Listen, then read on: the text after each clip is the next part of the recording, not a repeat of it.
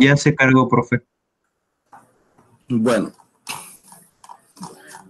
Vamos a empezar aquí. Esta es la agenda del inicio de clase. Esto tanto en plataforma, las palabras de bienvenida por parte de mi, de mi persona. Eh, en realidad, les agradezco mucho que se hayan conectado, puesto que, y te agradezco mucho, puesto que en realidad estás dando el paso de, de seguir estudiando, eso es importante. Muchos están dejando de lado sus estudios por lo de la pandemia y no, que en vez deberían aprovechar porque como están en casa para que tengan algo que hacer y así invierten un poco de tiempo en algo productivo. Sí, es cierto. Yo doy dos bachilleres. Sí, yo doy bachilleres en ciencias y comercio. Yo me llamo Ricardo Quiroz. Este es mi correo, rquiroz1551 arroba gmail.com. Este es mi, este es mi correo. Ese correo no es para enviar trabajo. Los trabajos se suben a la plataforma. Ese correo es por si de repente en algún momento yo te llego a pedir alguna cosa o alguna información, me la puedes enviar a ese correo. ¿Ok? Ok, perfecto.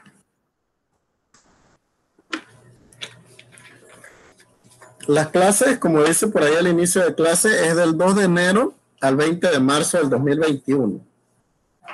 ¿Ya? Sí, es del 2 de enero del 2021. Eh, aquí, a ver.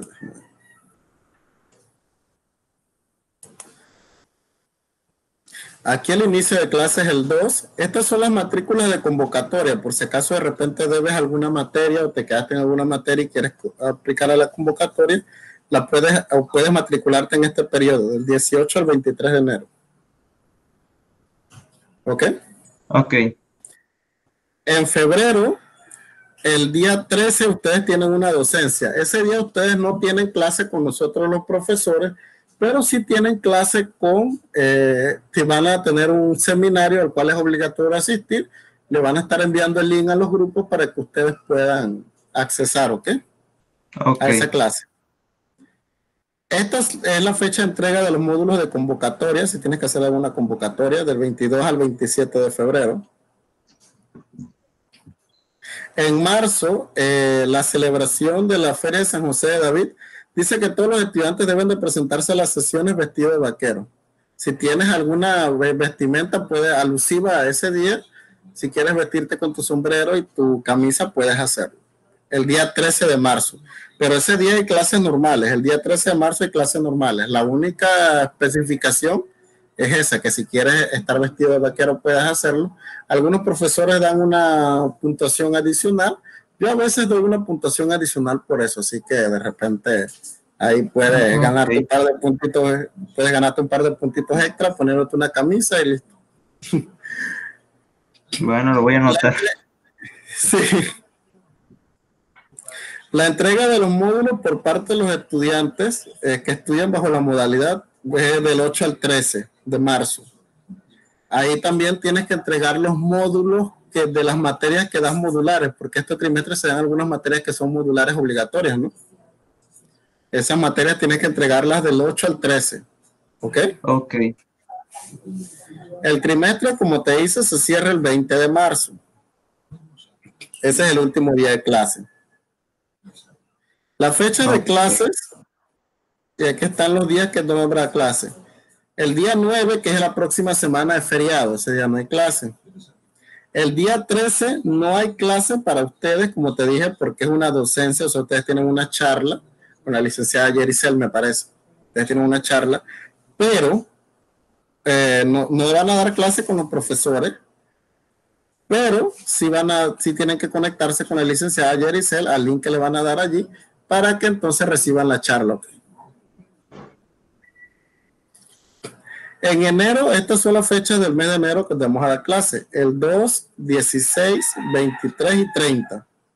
En febrero vamos a dar clase el 6, el 20 y 27. Y en marzo vamos a dar clase el 6, 13 y 20. Esas son las fechas que vamos a dar clase este trimestre. ¿Ok? Ok. Bueno, este es mi celular para cualquier consulta que tenga. Este es mi celular, 6814-8613. El horario de atención son los viernes de 10 a 12 mediodía. Ese horario de atención no es para tutorías eh, por WhatsApp, sino es para de repente si tú tienes una pregunta acerca de un determinado problema, que no algo así que de repente estés, por ejemplo, dudoso, tú me dices que profesor, el, eh, sobre el problema 3, eh, tengo una duda, se hace así, así, así, y yo te puedo dar una orientación pero no es para que, como le decía a los chicos, que el trimestre pasado una chica me dijo de que, profe, revíseme la tarea para ver si está bien y, me dice que tengo más. Y le digo que chus, imagínate, porque son dos horas de clase para los estudiantes, eh, tengo que atenderlos a todos, así que es para contestar solamente preguntas en específico, ¿ok? Sí, profe. Estas son las actividades de aprendizaje, resolución de problemas, vamos a estar en estudio de casos, que son los problemas de aplicación, preguntas y respuestas, conceptos claves, foro, debate, wiki, que son los eh, eh, para investigaciones y eso, de Wikipedia, y los tutoriales que se utilizan para lo que muchas veces yo les voy a subir, si el tema es un poquito complicado y veo un tutorial que es bueno en YouTube, yo en la sección de documentos le voy a estar subiendo lo que es la, eh, la información. En la sección de documentos, ahí se les sube a ustedes todo y en la sección de trabajo se les suben los trabajos. Pero en la sección de documentos a ustedes se les sube todo lo que se ve en la clase. Yo siempre les subo los documentos que hay en esa clase. Yo abro siempre una carpeta. Tienes que tener cuidado la, la clase en la que estabas, porque yo siempre abro una la carpeta, por ejemplo, hoy voy a, eh, o mañana, ves que la plataforma está inhabilitada porque está en mantenimiento. Para apenas la abra, yo voy a abrir una carpeta que dice que va a decir eh, clase del día 2 de febrero. Y en esa carpeta tú vas a tener el documento que yo voy a que yo voy a explicar el día de hoy. Eh, con todo y en la sección de trabajo vas a tener el taller con la fecha de entrega que tienes que entregar. ¿Ok? Ok. Así que eh, de repente si hay un tutorial ahí que te sirva, yo, pues, yo aparte porque ellos te van a estar enviando el, el, video, la grabación de la clase del día de hoy, la van a estar enviando a los grupos. Pero si no, entonces inmediatamente si no comprendiste con eso, yo de repente si veo un tutorial que es un poquito bueno para ese tema, yo entonces te lo, lo, lo subo a la carpeta con el link para que ustedes lo vean en YouTube. ¿Ok? Sí, profe. Bueno, pero recuerda, todo va a estar en la carpeta de esa clase, por eso es que te digo, si, si es la carpeta, yo voy a abrir una carpeta que dice clase 2 de, enero. En toda esa carpeta va a estar todo lo que dimos hoy, menos el video de la grabación, porque eso sí lo hacen allá en Nueva Luz, eso se lo envían a los grupos de WhatsApp. ¿Ok? Ok. La evaluación del curso es esta, trabajos grupales, trabajos individuales, pruebas parciales, 20%, trabajo final, autoevaluación y coevaluación.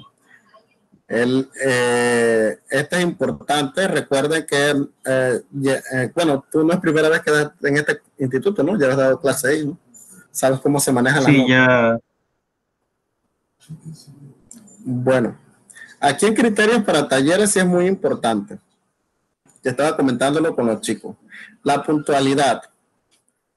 La puntualidad dice que se le descontará 10% de la nota por cada día que, que tardes en entregar. Por ejemplo, si yo dejé una tarea para entregarla hoy, si me la entregas mañana a mediodía, ya perdiste 10% del taller. Depende de cuánto valga. Eh, ¿Ok? Ok. Eh, sí. Tienes que tener mentalizado que si demoras hasta la siguiente clase, eh, sin entregar el taller, eh, no, lo más que vas a sacar va a ser tres, no va a ser más, más de esa nota. Así que tienes que tener cuidado de entregar las tareas puntuales. De todas maneras, la plataforma va a estar abierta. La plataforma va a estar abierta para que tú la entregues después si no la entregaste, porque no vamos a ser tan estricto como el trimestre pasado, que si no se entregaba la fecha, se cerraba la plataforma.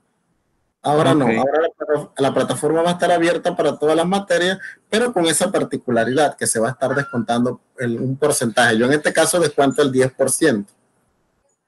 Ok. en, la Tengo una consulta. Los trabajos, usted desea que se los entreguemos por PDF. PDF o Word, cualquiera de las dos. Ok. Pero si trabajas en el celular, no me la envíes por el, por el lector de, o por el editor de texto del celular. Te digo por qué. Porque es que lo que pasa es que para el editor de texto del celular tienes que abrirla del celular o tiene o la computadora tiene que tener ese programa incorporado, que muy pocas lo traen. Entonces mejor, sí, entonces mejor hacerlo en PDF o Word, cualquiera de esas dos normas para entregar, PDF o Word. Eh, lo que sí puedes hacer, como lo mío es matemática, si quieres, eh, lo que puedes hacer es que haces los problemas en un cuaderno, ¿verdad? Con letra legible. Le tomas una foto que la foto se vea. Sí, no, no importa, pero bueno, la cosa es que se entienda. Le tomas una foto y la pegas en Word. Problema uno, le pegas la imagen. Problema dos, le pegas la imagen. Y así entonces, para que si tienes problemas y no quieres hacerlo por Word, pues, si no manejas muy bien el Word, porque hay muchos que no manejan bien el Word. Entonces, bueno, si no, manejan bien el Word. lo manejo bien. Ah, bueno, ah, bueno, entonces perfecto. Entonces lo puedes entregar así, no hay ningún problema.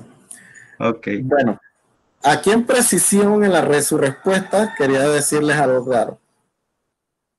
Eh, traten de utilizarme el punto decimal para decimales solamente.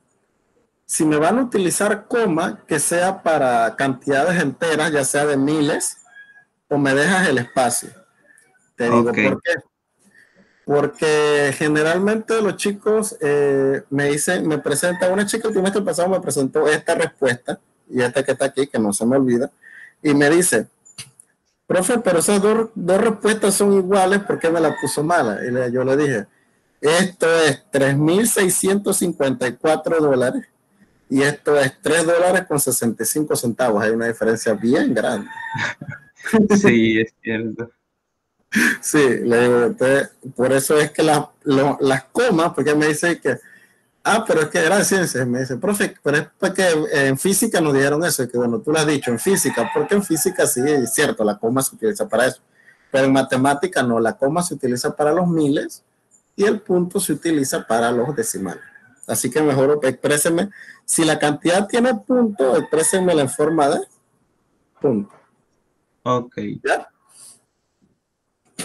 El procedimiento debe estar siempre, por pequeño que sea, en la solución del problema. Esto es muy importante, porque el procedimiento eh, te puede dar puntos adicionales si tienes la respuesta mal.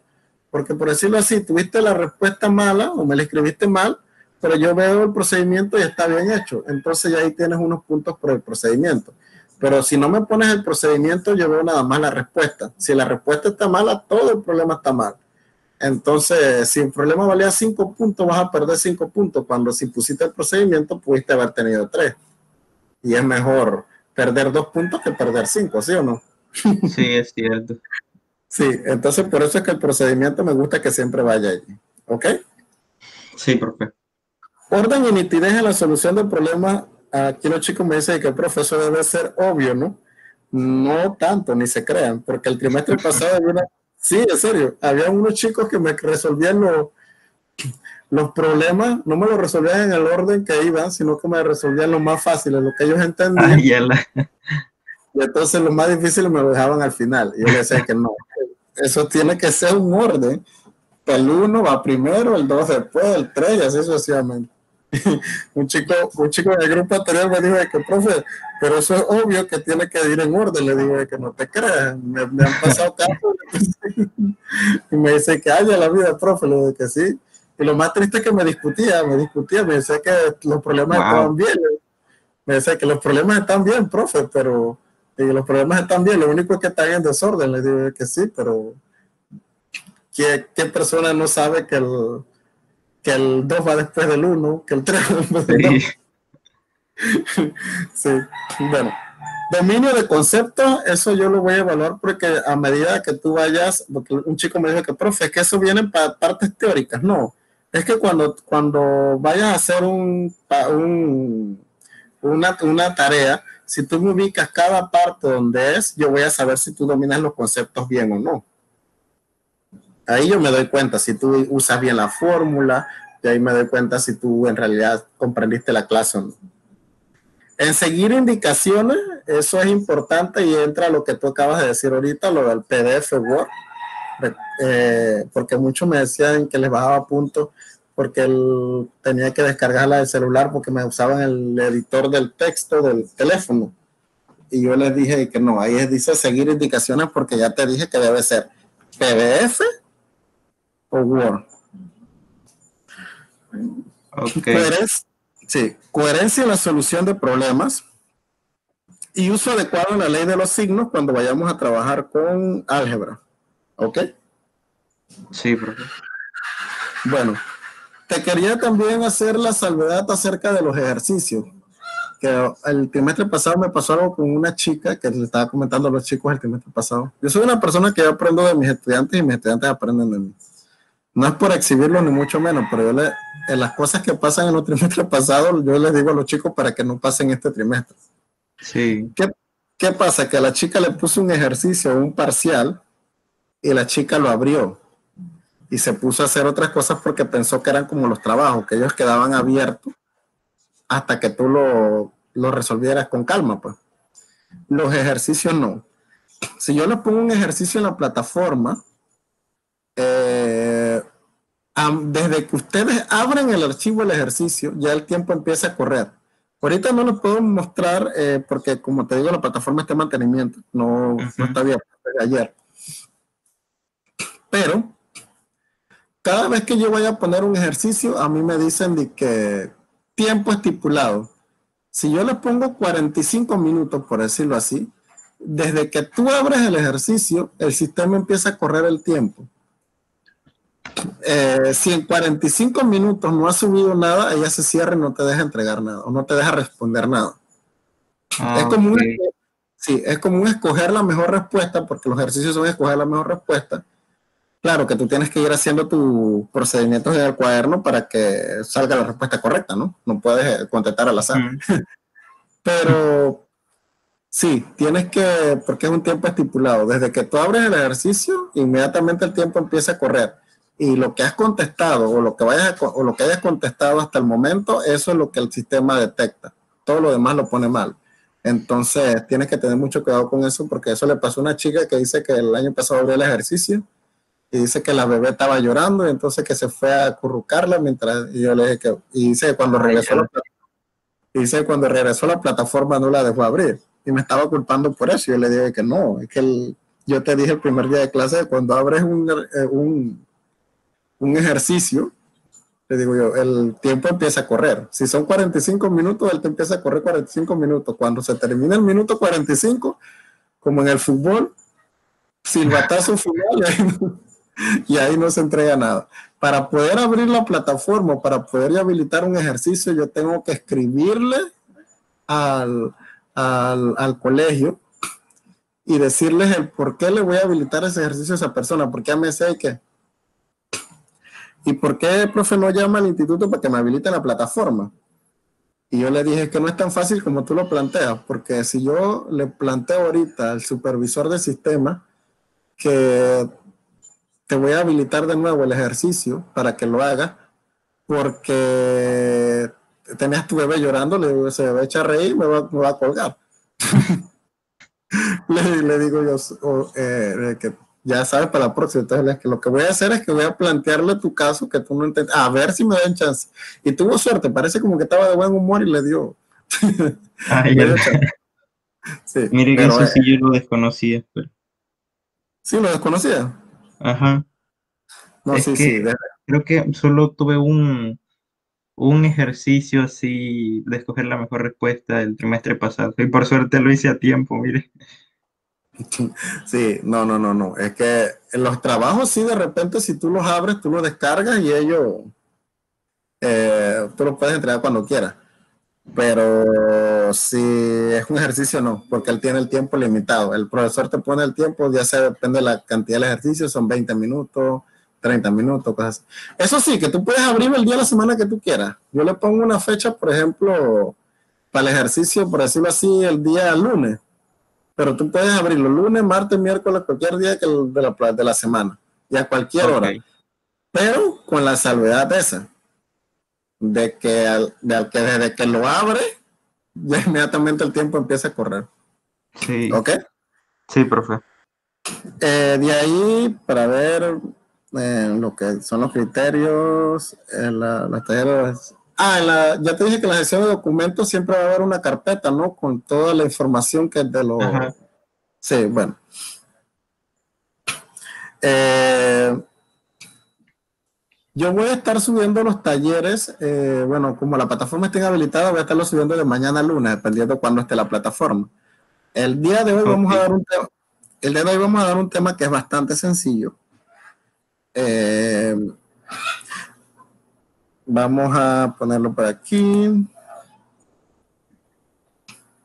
Es esto de medidas de variabilidad. ¿Ya lo estás viendo? Sí, profe.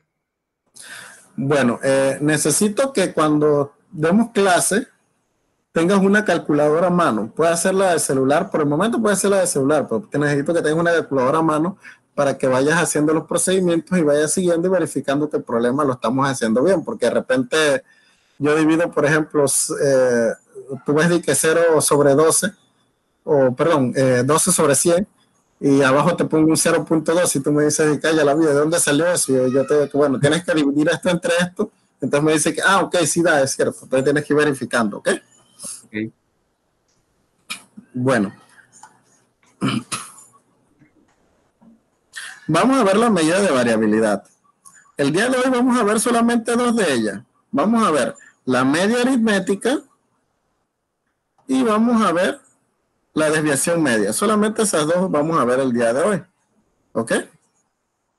Sí. Bueno, ¿qué es la media aritmética? La media aritmética es un promedio determinado sobre una cierta cantidad de datos. O sea, ¿qué quiere decir que es la media aritmética? Bueno, la media aritmética es más o menos eh, un balance de lo que se da en o, de, de una cierta cantidad de datos. Por ejemplo, eh, si yo tengo que la media aritmética de los promedios de los salarios de unos trabajadores en una determinada empresa es de 657,63. Eso no quiere decir que ellos ganen 657,63 todo, sino que sumando todos los salarios y dividiéndolo entre la cantidad de personas que trabajan en esa empresa, ese es un aproximado de lo que paga la empresa entre todos. ¿Ok? Es solamente como, una, como un balance. Esta es la fórmula. La media aritmética se simboliza por una X barra, una X con una barrita arriba. Con, con una rayita arriba. ¿Ok? Ok. Y dice que es la suma de los valores, o sea, la suma de todos los valores entre el número de valores. Esa es la fórmula la suma de todos los valores entre el número de valores. ¿Cómo así? Bueno, vamos a ver qué quiere decir eso. Hallar la media aritmética de 11, 14, 17, 20, 16 y 10 con, aproximados, con aproximación a dos cifras decimales. Esto quiere decir que solamente utilizamos dos cifras después del punto decimal. Si te dan cualquier cantidad de cifras, solamente vamos a utilizar dos después del punto decimal, ¿ok? Ok. El redondeo es opcional. Si quieres redondear, redondea. Si no, no. Bueno. Dice que sumamos todos los valores, o sea, los que te da el problema. Sumamos 11, más 14, más 17, más 20, más 16, más 10. Mira, se sumó todo, ¿verdad? Y se divide entre la cantidad de, números que te dan.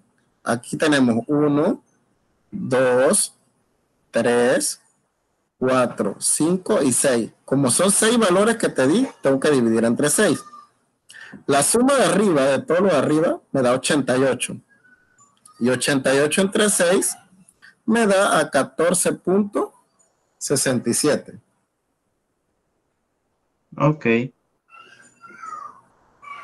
¿Ves que es bien sencillo? Esa parte es bien sencilla.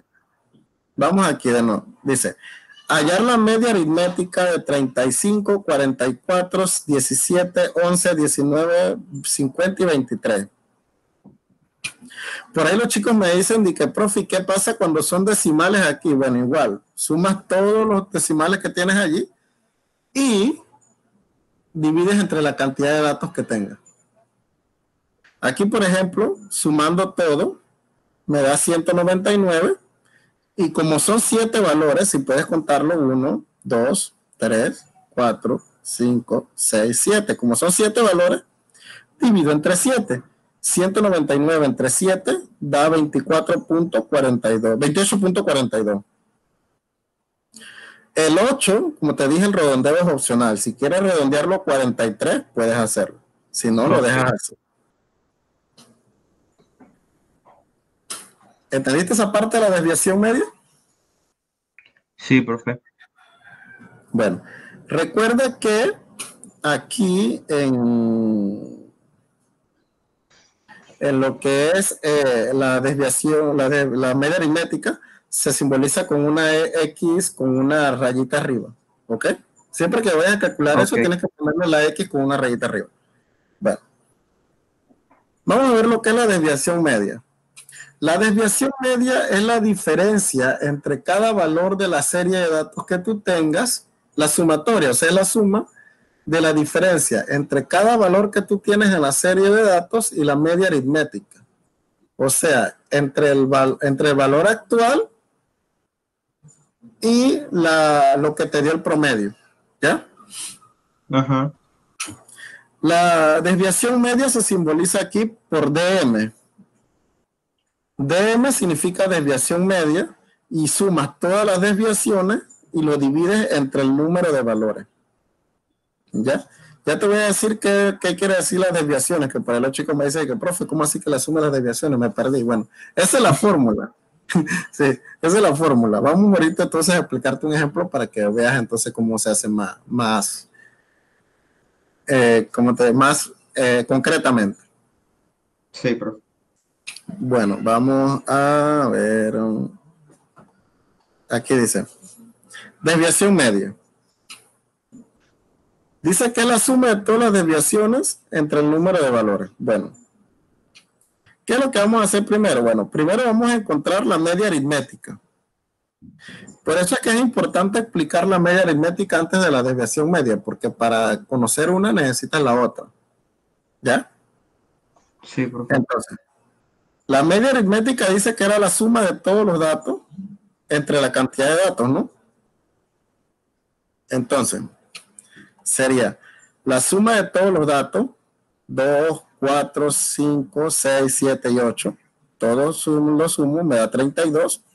Y lo divido entre el número de datos, que son 6. Como aquí hay 6 valores, yo divido entre 6. 32 entre 6 me da 5.33.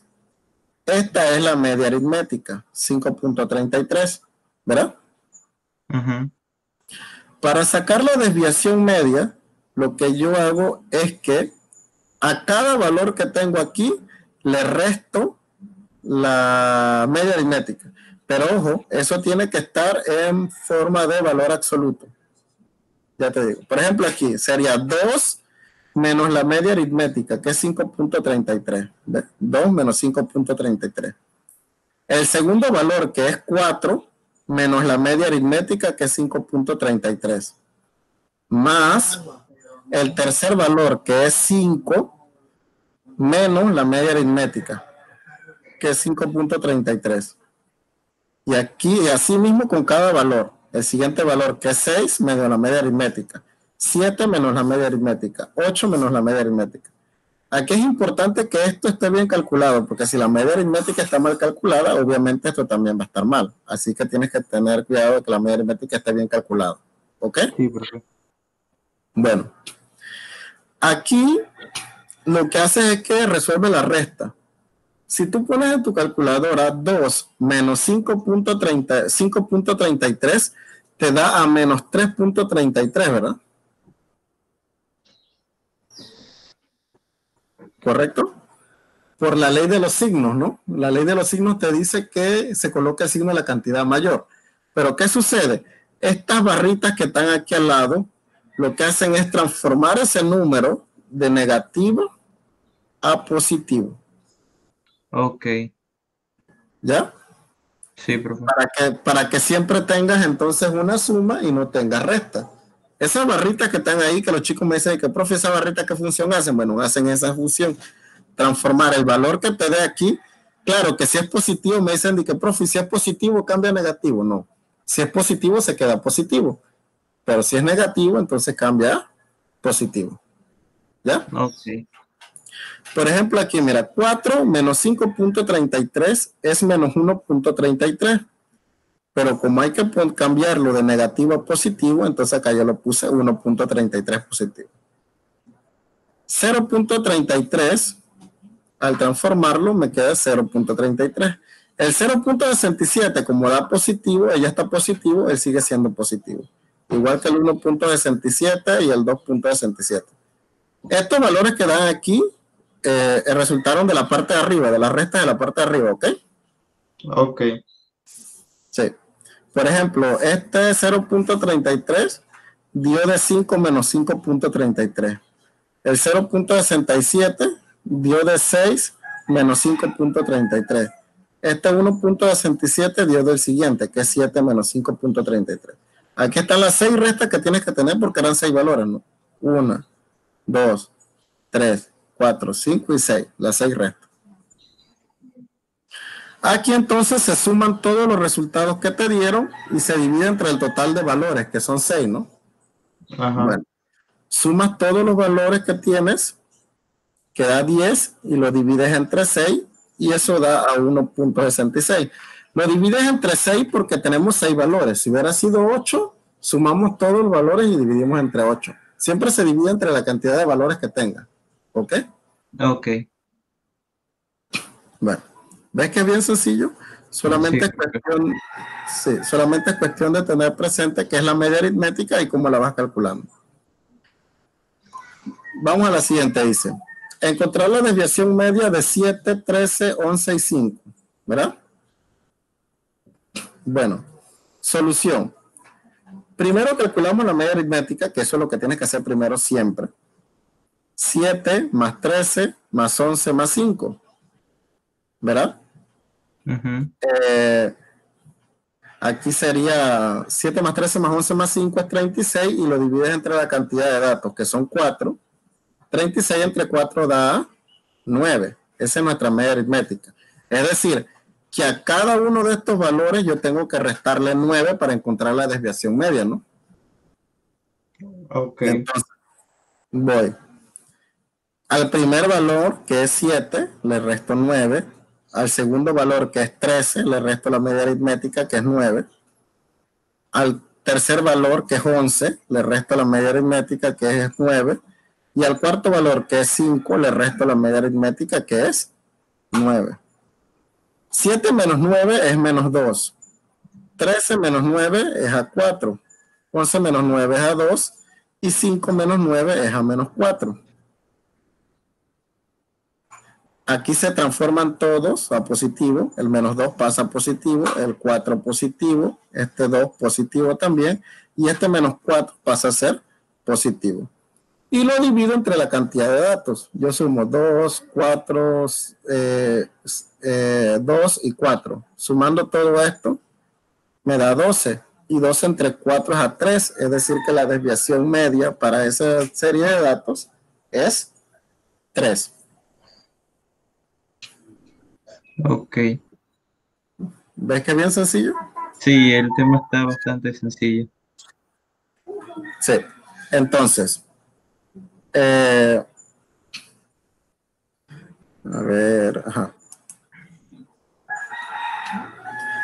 Aquí, este tema yo lo, yo lo repartí en dos partes. Es que lo que pasa es que aquí en el módulo te aparece todo completo. O sea, te aparece que calcular las cuatro medidas de variabilidad a, eh, corrida. Yo se los he separado por partes para que sea más fácil para ustedes para entender, ¿ok? Ok. Entonces, en el módulo, esta actividad que dice formativa, vamos a ponerla mejor sumativa. ¿Ok? Ok donde dice calcular la, de, eh, mira, que, aquí te decía, calcular la desviación media la varianza y la desviación típica de las siguientes series de datos. Bueno, aquí solamente vamos a calcular dos. Vamos a calcular solamente la desviación media. Vamos a calcular solamente la desviación media. Por ahí los chicos me dicen que, ah, profe, la, la media, mira que un chico el trimestre pasado me dice, profe, ah, o sea que ahí se va a calcular solamente la desviación media. La media aritmética no la vamos a calcular. Y yo me quedé pensando que, pero si para la desviación media obligatoriamente necesita la media aritmética, ¿no? sí, sí. entonces, ¿cómo no vas a calcular una? Obviamente, está tácito y sobreentendido que tienes que eh, usarla o calcular la media aritmética de los datos.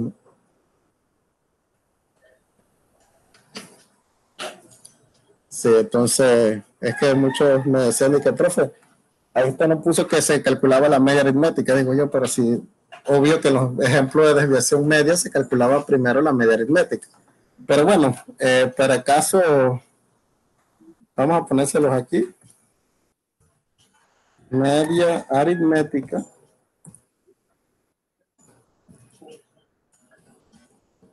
y desviación media. ¿Ok? Ok.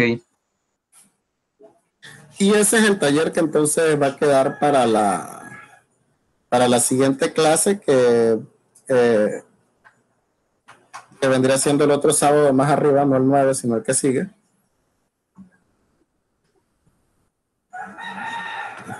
Eh, yo ahorita no está abierta la plataforma, no está habilitada la plataforma, así que no lo voy a subir aún, pero ya lo puedes ir haciendo, te puedes ir sacando, sacando, sacando fotos para que cuando ya, eh, cuando lo suba a la plataforma, nada más sea cuestión de subir el documento y listo. Solamente media aritmética y desviación media, ¿ok? Ok. ¿Ya le sacaste foto? Sí, ya. Bueno, sí. Profe, entonces, una consulta, eh, ¿va a ser, eh, con usted va a ser clase un sábado sí y un sábado no? No, van a ser todos los sábados. Ah, ok. Es que si no creo que fue el año pasado, el año escolar. Sí, el trimestre pasado era porque lo que pasa es que el trimestre pasado yo tenía 12 grupos. Tenía, ah, entonces, entonces los días que no le daba clase a ustedes, le daba a otros grupos. Pero pero ahora, ahora no, ahora como además tengo los dos bachilleres en ciencia y en matemáticas, todos te van a tener clase todos los días, pero los, los sábados. nada más que este sábado no hay clase, porque como te presenté la agenda, el 9 es feriado, entonces no tienen clase. Sí, todavía, si todavía no he decidido si ponerles la tarea para el 9, porque como es feriado, porque algún, ahorita le, le puse, la, le dije a los chicos, hagan esa tarea para el 9 y me dicen que para el 9, profe, si el 9 es feriado, así que quizás se lo deje para la próxima clase, para que no haya discrepancia. que, no, lo de ellos también eran tres problemas y les digo que ojo, se están quejando por tres problemas y, estos no están muy difíciles de hacer. No, y los de ellos uh, tampoco, además era cuestión de sumar y restar. le digo yo, ustedes quieren un, te digo que una semana para cada problema, no puede sí, entonces, eh, ahí, así queda entonces, de repente, como ya te dije, todos los viernes, este viernes yo voy a estar con, atendiendo consultas y de repente hay alguna parte que no entiendes de alguno de esos problemas, lo haces y o me dices y yo con mucho gusto te, te contesto la pregunta. Ah, recuerda que aquí hay tres problemas diferentes, ¿ok? Cada cuadrito es un problema diferente. Eh, sí. Recuerda, que, bueno, no sé si te comenté, pero para lo que es el